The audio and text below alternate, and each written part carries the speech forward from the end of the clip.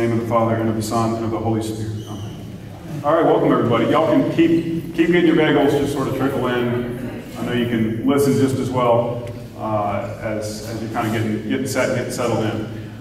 I'm going to start. I had a professor in seminary who was, who was very much an introvert, a little cagey, and uh, loath to sort of discuss what was going on in his interior life. But every once in a while, he would sort of like open the door a little crack into who he was. And he would announce this by saying, okay, I'm going to open up now.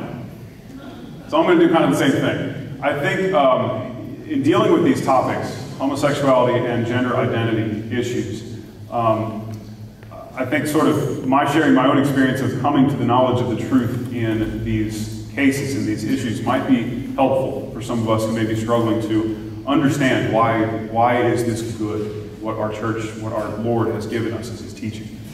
Um, I'm from Charlotte. I went to Catholic schools growing up. I went to Carolina for college. Uh, I found myself in an environment that, uh, that very much trumpeted, you know, these things, these liberties, these freedoms that society was beginning, you know, in my childhood to sort of call good.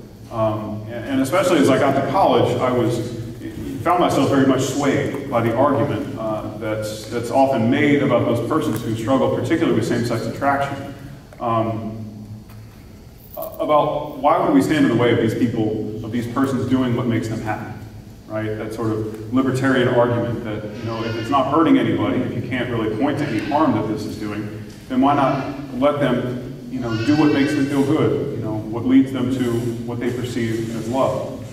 This is something that I found myself sort of, not explicitly, but sort of internally sort of won over towards, you know, a sympathy, a, a sentiment of, of permission uh, to allow these people to do what it seemed their natures were, were drawing them on towards. I went to seminary, and obviously, uh, as one studies to become a priest, this is uh, kind of an issue. Uh, if you know the person isn't totally on board with, with what the church is, is teaching, you know, regarding these persons. And so luckily, or providentially, I had a number of very good, very qualified, and well-learned um, priest formators who were able to have very serious discussions with me and to sort of expose to me the errors in my thinking and the thinking that I had adopted.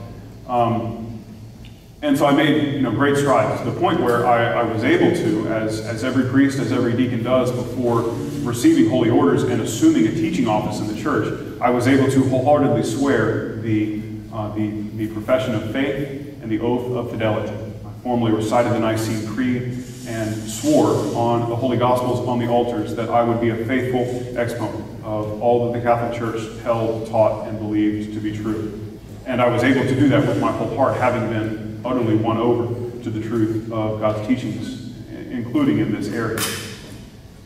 When I was preparing for ordination, uh, when we were getting down to it, and we were just days away, the bishop has, has a, a bit of a tradition the men who are to be ordained soon. And so he brings, he brings the ordinands, he brings their families into his residence, and he, he, he shares a, a, very generous dinner with us. And it's a nice chance for us to sort of celebrate you know, the upcoming ordination and, um, and, for, and for parents to be able to you know, speak with bishop a little bit, to give him you know, their thanks for the formation of their child and the reception of holy orders. This includes with it, we also, everybody who wants to comes to, to the cathedral and, and prays Vespers.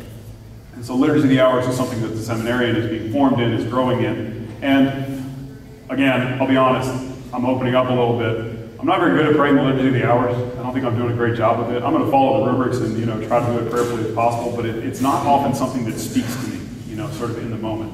Um, I find that it is a source of strength for me and of, of, energy as I set, as I you know make that act of consecrating my time to our Lord. Um, but it's rare that like something jumps out at me and hits me over the head.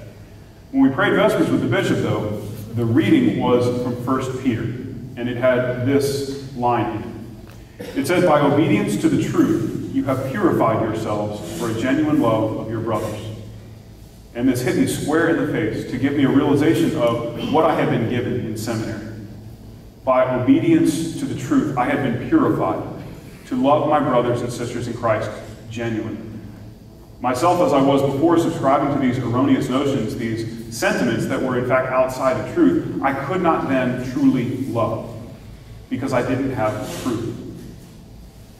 That's what we're going to set about doing today is understanding the truth, not just so that we can be right and yell loud, but so that we can love. Having a firm and a total grasp of the truth of who the human person is and of how God wills to fulfill us as his as creatures created in his image and likeness, as his sons and daughters. By having that truth, we are then enabled in our own lives and in the lives of others to love as Christ loves and to come to the Christian perfection that Christ calls us to.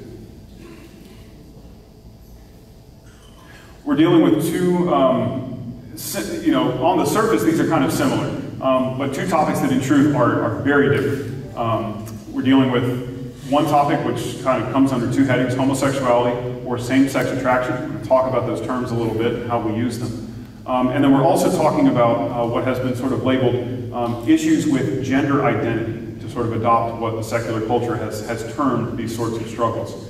Um, I'm going to spend a great deal more time on the first, on same-sex attraction, because it's sort of older in our society. We've been dealing with it longer, and it seems to be a problem of greater prevalence. And the second, um, it's new. The church doesn't have much of a formal response yet because this is new. Um, but that doesn't mean we're silent on it, right? We have the principles of the gospel that we use to respond to new ideas to see if they, if they fit with the gospel. And so from that angle, I'm going to I'm to talk about, about gender identity, who, who we are as human persons, male and female.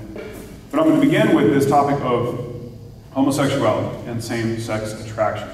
All right, so first we're going to begin, as is good in searching for truth always, we're going to define our terms, okay? Homosexuality. We're going to take this from the Catechism. Those of you who are taking notes, uh, the relevant portions of the Catechism are 2357 through, I think, the, the next two paragraphs, so through 2359. And so this from 2357. Homosexuality refers to relations between men or between women who experience an exclusive or predominant sexual attraction toward persons of the same sex. Now, to, to use the term homosexuality, this is one of the terms that we need to be careful with, because of central importance in understanding this is understanding identity. Who is the human person? And indeed, we see this has been a battle line in how we talk about these issues. One that society has largely been won over to the side of those who, who advocate for the, the sort of liberal, you know, laissez-faire, do as you will as long as you're not hurting anybody else uh, kind of argument, which is an identity that is totally wrapped up in one's experience of one's own sexuality. That agenda divides the world into at least two categories of persons, ever expanding as we sort of identify new sexual appetites and inclinations. But basically, those who are homosexual, those who are heterosexual. And in identifying persons these way, giving them these identities, it seems to separate people out into two paths to happiness. One is the sort of traditional man woman who finds his fulfillment and happiness in, in, in sexual relationships with persons of the opposite sex. Perhaps that might tend towards marriage and family if, if the person wants to, but not necessarily. Those who are homosexual, according to this description, is a person whose path to happiness here on this earth consists exclusively or predominantly in a romantic relationship with a person of the same sex. So, how does the church rebut this? Our identity is not wrapped up in our sexual appetites. We are men and women. We have been given the gift of sexuality by our God. And that is something that it's a faculty we possess, and it forms a part of how our personhood is fulfilled. But whom we are attracted to does not determine who we are. We all share the same human nature. Same human nature as men and women created in the image and likeness of God, and for those of us who are baptized, beloved sons and daughters of God. It's for this reason I'm not a huge fan of using the term homosexual to describe persons with these tendencies. The church in recent times has, small c church, has, has, been, has been moving towards using same-sex attraction to define, uh, to, to describe persons who, who suffer uh, from this inclination. Because that way a person can't be homosexual, a person can only be someone you for, sort of force yourself into a tough grammar to explain this. I suffer from same-sex attraction. It's a lot of syllables, but it's precise and it, it, it, it separates out the identity of the person as a beloved son, a beloved daughter of God, from the inclination, the attraction that the person experiences. Now, because we know this is our identity and that we all share the same human nature, If we all share the same human nature, we all share the same means of fulfillment. The ways that we are fulfilled, that we are made happy in this life, they come from who we are in our nature. And there are a number of, of ways in which you know, we are fulfilled, and we can sort of you know, start to list them out, um, as, as St. Thomas does in his theology. And so we, we point to things like um, you know, the acquisition of knowledge. You know, it accords with who we are as intellectual beings. The, the commission of good works, that who we are as having a will that inclines to good. Um, we seek to preserve our own life because you know, that, that accords with who we are as, as persons, even in the things we share with animals. But one of these is marriage and family life. That which has been written into our heart from all creation. This is a path to happiness, to natural happiness for man here on this earth. And so, because we know that this is a way in which we are fulfilled, this is a standard that we can use to evaluate this of man's coming to happiness, according to, according to acting on same-sex uh, inclinations and attractions. And so this brings up the, the notion of order. All of our actions need to be ordered, pointed, uh, directed toward those things that fulfill us. And actions that, derive, that drive us away from those things that fulfill us, this is where we can, we can start describe, describing things as good and evil. Things are good if they lead to our fulfillment and happiness. Things are evil if they draw us away from that. And we haven't even started talking about divine revelation yet. This is simply from natural reasons that we're talking about these things. And so we can say that man's inclination towards marriage and family, when he acts on that according to the rules that are written into our nature about the commitment and exclusivity of marriage, man is acting towards his good, towards his fulfillment in the happiness of marriage and family life. When man does things that drive him away from that, we can call those evil. And there's a whole range of ways that he can act against that. We can include fornication, we can include adul adultery, masturbation, all sorts of misuses of the gift to man of his sexuality, which fall short of the good toward which that is ordered. And that's the standard we can judge everything by. And so then having this as our standard, how do we judge homosexual acts? Do they lead man to his happiness? We know by our nature that these things do not lead men and women to their happiness.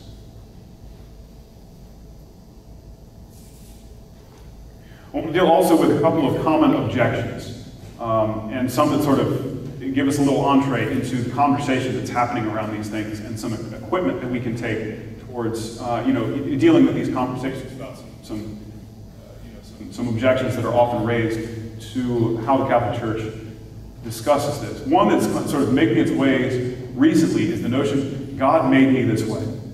Right? The, the notion that someone is born with this innate exclusive or predominant desire towards an attraction for persons to persons of the same sex.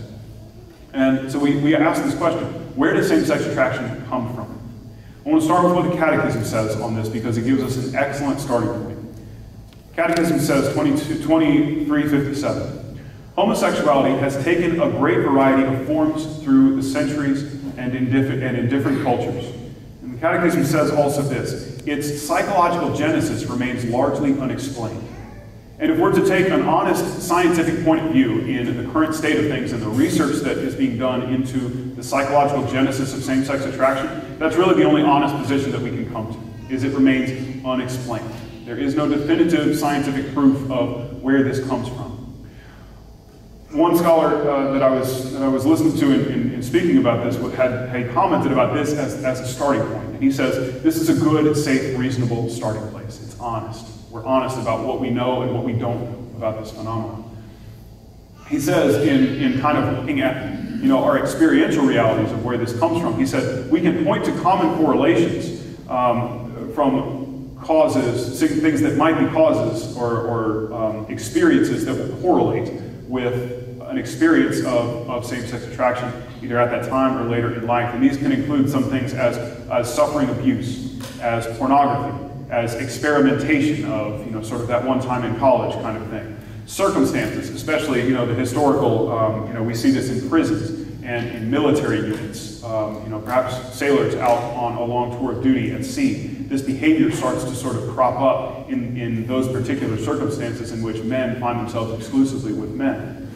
And there are even some, this is a continuation of this quote, and this is important, there are even some who experience same-sex attraction as their first and only experience of sexuality.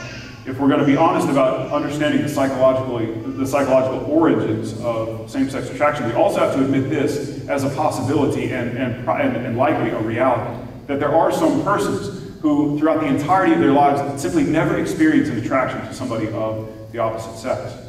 And so, in the person's own experience, this what we can you know, what we can learn from this is it is certainly possible that a person is being honest if he or she says, "I feel like God made me this way."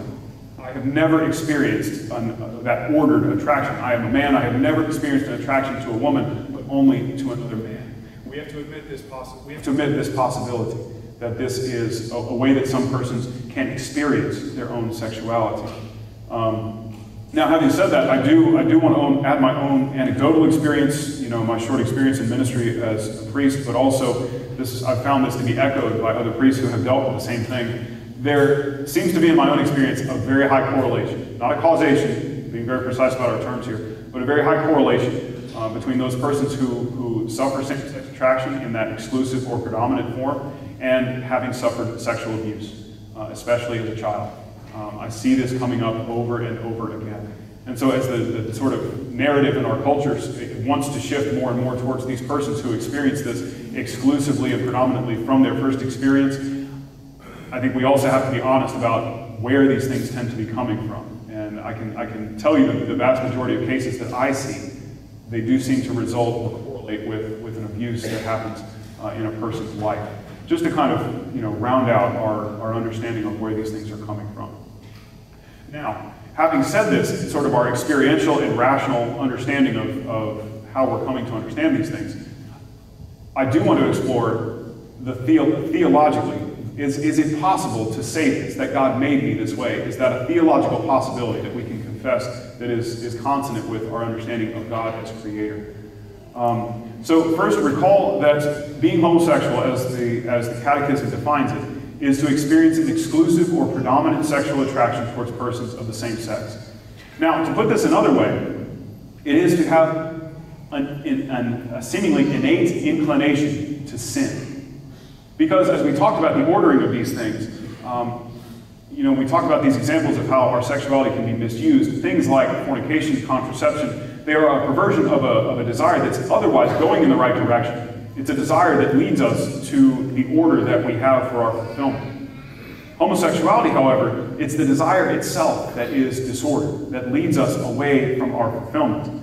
And so in our, in our theological consideration of this, we can call that an inclination to sin an inclination to do evil, to do something apart from the way that our Lord has, has planned for us to be fulfilled, that is sin. And so, to put to, to sort of sum this up and to put it back in terms of did God make me this way, to say this would then be to say that God made me with an inclination to sin. And that doesn't line up with what we confess about our Lord as creator. We know from Genesis, God looked on all that he had made, and he found it very good. Indeed, the Catholic Church, in teaching the greatness of marriage, one of the things that I love to highlight is that the act of conception involves God's creation of a soul. Each time that a child is conceived, that is God creating a soul in that new person at conception. And so, when God creates, does God create evil? No. God creates good. He creates each and every human person here on this earth to be good. So, where does evil come from? This again is our theology. It's the truth of our faith. That evil comes from the, from the fall, from the first sin of Adam and Eve, which leads to original sin. The sin that we inherit. It's, um, oh, what's the phrase? Um, by propagation, not by imitation. That we receive in our very persons, in our very, in our very bodies, we receive the, the, the transmission of original sin from our parents, from their parents, all the way back to our first parents. That we are all born with original sin. Not because that's how God made us, but because that is the consequences. Those are the consequences of the sin of Adam and Eve. Even when this is washed away in baptism, the church teaches that we retain within us concupiscence, that inclination to sin. And so, putting this, this claim in, in theological terms, we know that this is impossible. That God made a person this way, that it is God's will to create this alternate path for happiness for a person who experiences an inclination towards those of the same sex. Now, this doesn't, this doesn't say that a person is being insincere when the person says, I've only experienced an attraction to those of the same sex. The person, it's very possible, is being entirely honest. But it's important to distinguish this does not come from, come from God's creative act in, in creating that person. It comes from the original sin that is the source of all evil in this world. Okay, another common objection. The New Testament doesn't speak about this directly. This is one of those things that we hear. It's not in the Bible. Or at least if somebody is, is pointing to, you know, sort of a biblical substantiation of the church's position, their first kind of go-to is Leviticus, right? Chapters 18 and 20. Man shall not lie with man as with woman, it is an abomination. And that seems nice and clear cut, and we can put that on bumper stickers, and, and that gets loud, and press coverage and all that. But then people raise the objection, well, that's the Old Testament, and, you know, God was different back then, right? That's a heresy. We're gonna, we can get into that in another talk. Um, the moral law retains its force from the Old Testament, and we'll leave it at that. But it seems that people aren't going to be won over unless they hear these words coming out of the words of Jesus Christ or, or St. Paul, right?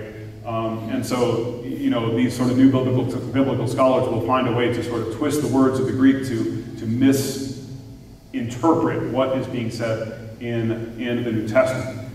But if we take a look at these relevant passages, it's very clear uh, that St. Paul in his writings is condemning the actions of, of homosexual behavior. And so, first, and probably our biggest one, is from Romans. Those of you who are taking notes, this is Romans chapter 1, verse 24 through 27. And so, St. Paul here is talking about the consequences of those who committed idolatry, of those who rendered worship to those corporeal things that were not God. And he says, Therefore God gave them up in the lusts of their hearts to impurity, to the dishonoring of their bodies among themselves, because they exchanged the truth about God for a lie, and worshipped and served the creature rather than the Creator, who is blessed forever. Amen. For this reason, God gave them up to dishonorable passions. And here is the relevant passage. Their women exchanged natural relations for unnatural, and the men likewise gave up natural relations with women and were consumed with passion for one another, men committing shameless acts with men, and receiving in their own persons the due penalty for their error. You can twist that translation around all you want. It's not getting around the direct, the directness with which St. Paul is speaking about this.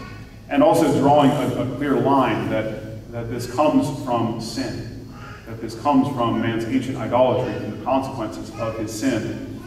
Thence comes uh, these, these further sinful behaviors. Second, in, the, in his first letter to the Corinthians, this is 1 Corinthians 6, verses 9 through 10. Do you not know that the unjust will not inherit the kingdom of God? Do not be deceived. Neither fornicators, nor idolaters, nor adulterers, nor boy prostitutes, nor sodomites, nor thieves, nor the greedy, nor drunkards, nor slanderers, nor robbers will inherit the kingdom of God.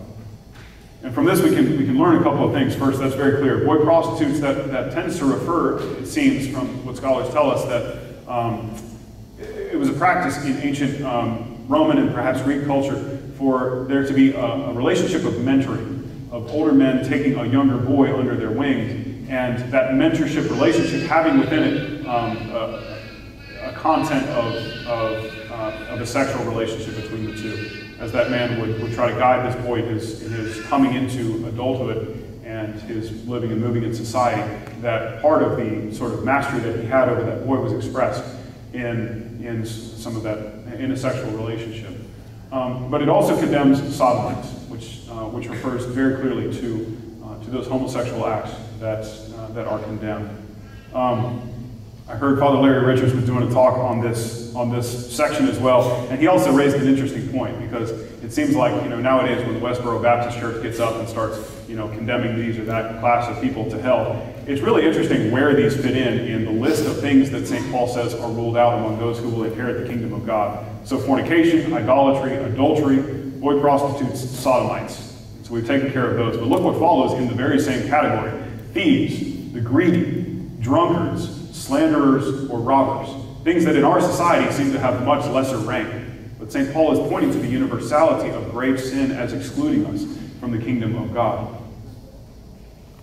Okay, and so we will leave that there for, uh, for dealing with same sex attraction for now. We're going to move on to gender identity and transgenderism. Again, there's less here explicitly because this is, this is new.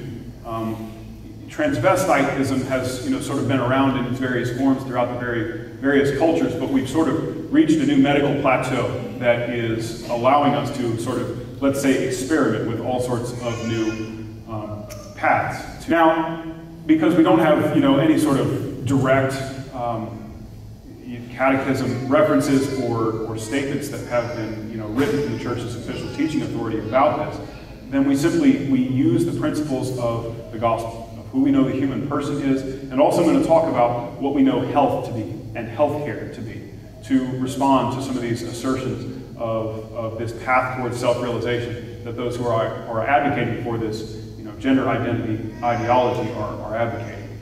So we're going to start with identity. Who is the human person? Just as we started with this um, for same-sex attraction, we want to start with knowing who the human person is. Now, in dealing with this question, the, the aspect of, of our human identity that it seems we should focus first on is the relationship between soul and body.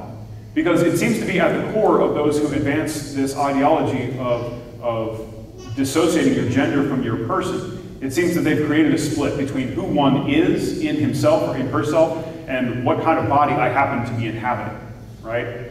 And so it's, it's the notion that somebody can be born outwardly looking sort of cosmetically, aesthetically like a male, but then in the course of the years comes to sort of discover that, oh no, it turns out I myself am actually feminine, and there's been some sort of mistake, that I got the wrong body.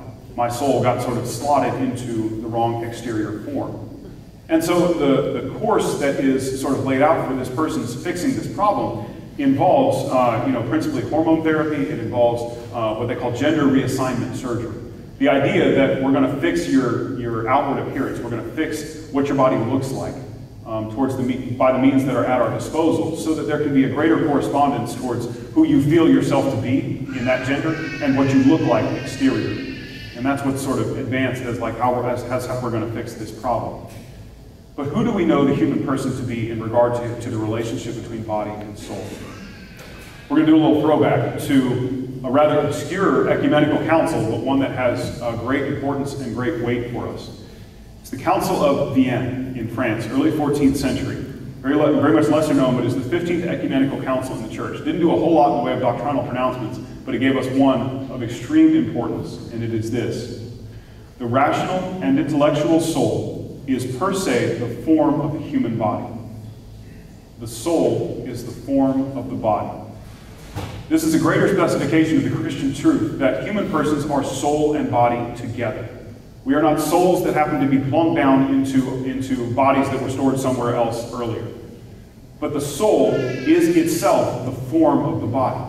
The two are so interrelated that to call a human person a mere soul or a mere body is philosophically reprehensible, I guess we could say, in Christian thought. Conceiving of a person as lacking soul or lacking body is an impossibility. Indeed, this is the trouble that we get into about understanding what happens to us after death before the general resurrection. Philosophers deal with this, they call it sort of the separated soul. When our soul and body separate at death and the body decays, what do we call the soul? Because it's not really a person anymore. It maintains the identity, it maintains the intellect and, and the will that are immaterial, that transcend bodily death, but we can't really call that a full person because it lacks a body. Indeed, we know the saints are even, they're, they're waiting the fulfillment of all of their happiness. Those who indeed now behold the face of God, they're still waiting on the fullness of their happiness because they have not yet their bodies. It's for this reason that we await with joyful hope the bodily resurrection um, that, that is to come at the end of the age. But we know all this, and this gives us all an insight into who the human person is, that we cannot divide soul from body. We cannot posit that the soul got mixed up and wound up in the wrong body. And therefore that we would have to fix the form of the body to match the form of the soul, because the soul informs the body. Further, from the revelation of our faith, this is an easy one, it's in everybody's head, but to go ahead and say it, male and female, he created them. We know from Genesis the nature of our creation was that we were made in the image and likeness of God, and that humans are made male and female. This is who we are. Now, from the perspective of health, again, in, in sort of advocating for how we're going to fix this problem, uh, you know, those who are advocating for, for gender reassignment surgery, for hormone therapy, are basically saying your body looks wrong and that's causing you social anxiety and distress. So we're going to fix that. We're going to be able to give you hormones that are going to, in the case of men, it's going to check the growth of your facial hair.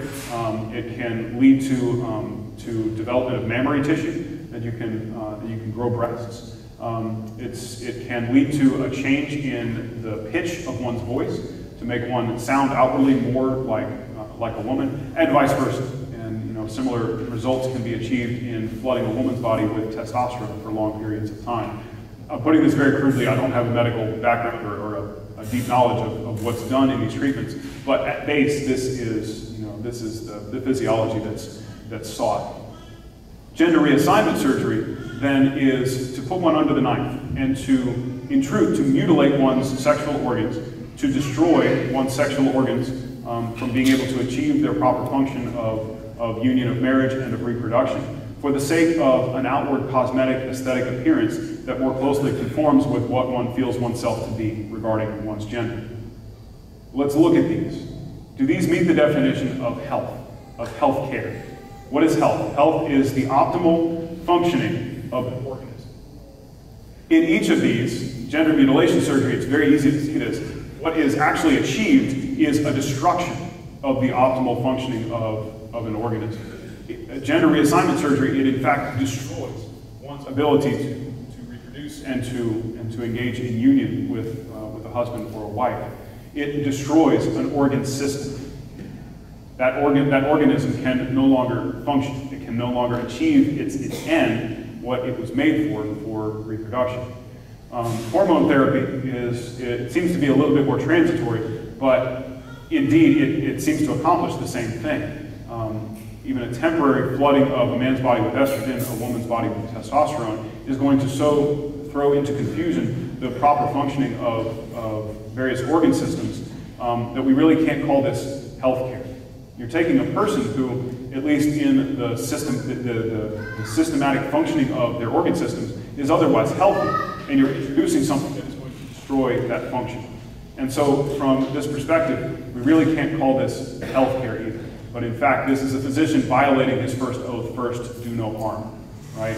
And so, when a person goes to receive these treatments, this is in fact what's going on. Finally, to sort of wrap this up and, point us forward okay, what do we do? if there are some of us here who have struggled with same-sex attraction, with our masculinity, our femininity, or if we have encountered someone in our lives that has had these particular struggles, what are we to do? And so we're going to start again with the catechism, with what the catechism teaches about those persons who struggle with same-sex attraction, and I think also we're going to be able to apply this by extension to those who struggle with, uh, with gender identity. And so 2359 in the catechism says this, homosexual persons are called to chastity, by the virtues of self-mastery that teach them inner freedom, at times by the support of disinterested friendship, by prayer and sacramental grace, they can and should gradually and resolutely approach Christian perfection. And so it's important to note that the call to those who struggle with same-sex attraction is in fact no different from any other Christian who seeks to follow Christ. That call is to chastity. That means the use of our sexual gift is to be confined to holy matrimony. Any use of the gift of our sexuality outside of marriage is sinful. And also to Christian perfection. This is the call, the universal call to holiness. That is just as much for me as it is for you, as it is for every person that God has created. God wills all to be saved and to come to the knowledge of the truth. And therefore, it's important to, to, you know, as we were differentiating, the world tends to want to classify people into two sort of different groups of people, different paths to happiness. In fact, the church has one classification of people by their nature. It is the people were made in the image and likeness of God and therefore have His plan available to them for their fulfillment and their happiness.